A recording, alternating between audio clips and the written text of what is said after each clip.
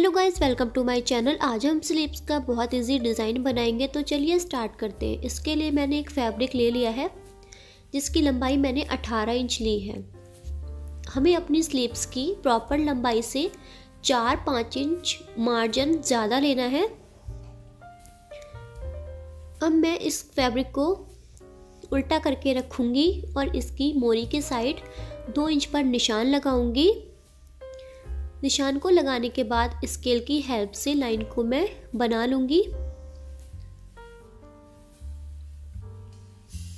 Line को बनाने के बाद अब मैं इस स्लीव्स के फैब्रिक को बीच से फोल्ड करके रखूँगी और फिर हम इसके लाइन पर दो इंच की दूरी पर निशान लगाएँगे। दो दो इंच की दूरी पे मैंने निशान लगा लिए हैं और फिर जो निशान दो दो इंच की दूरी पे लगाए हैं, उनको नीचे की तरफ़ मैंने लाइन बना दी है। दूसरी साइड से भी मैंने लाइनें बना ली हैं और फिर हम इसको दो इंच की लाइन तक कट करेंगे। तो सबको हम ऊपर की लाइन तक कट कर लेंगे और फिर इस फैब्रिक को मैं उल्टा करके ही रखूँगी और फिर जो हमने कट लगाए हैं, उसको हमें इस तरीके से फोल्ड करना है। थोड़ी सी सिलाई लगाने के बाद दूसरी साइड से भी हमें वैसे ही फोल्ड कर देना है, जैसे हमने पहले किया था। इस तरीके से हमारे ट्रायंगल बन के रेडी हो गया है। अब दूसरे कट को भी हम सेम पहले की तरह ही फोल्ड करेंगे और फिर इस पर भी हम सिलाई लगा लेंगे। सारे हम कटे हुए फैब्रिक को इस तरीके से फोल्ड करेंगे और फिर हम इस पर सिलाई लगा लेंगे। सारे ट्रायंगल हमारे बनके रेडी हो गए हैं।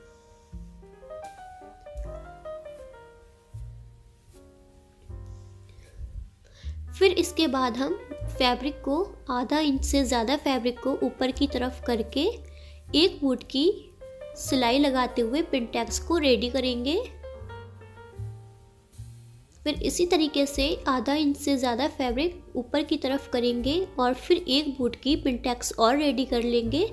इस तरीके से हम पाँच पिनटैक्स रेडी करेंगे। तो हमने पाँच पिनटैक्स बना ली हैं। तो पहले हम बीच में बिल्कुल सीधा निशान लगाएँगे। और फिर हम पिनटेक्स को ऊपर की तरफ़ करते हुए इस पर सिलाई लगा लेंगे। फिर हम इस सिलाई को नीचे की तरफ़ लगाते हुए धागे को कट कर लेंगे। फिर बीच वाली पिनटेक्स से दो इंच की दूरी पर निशान लगाएँगे।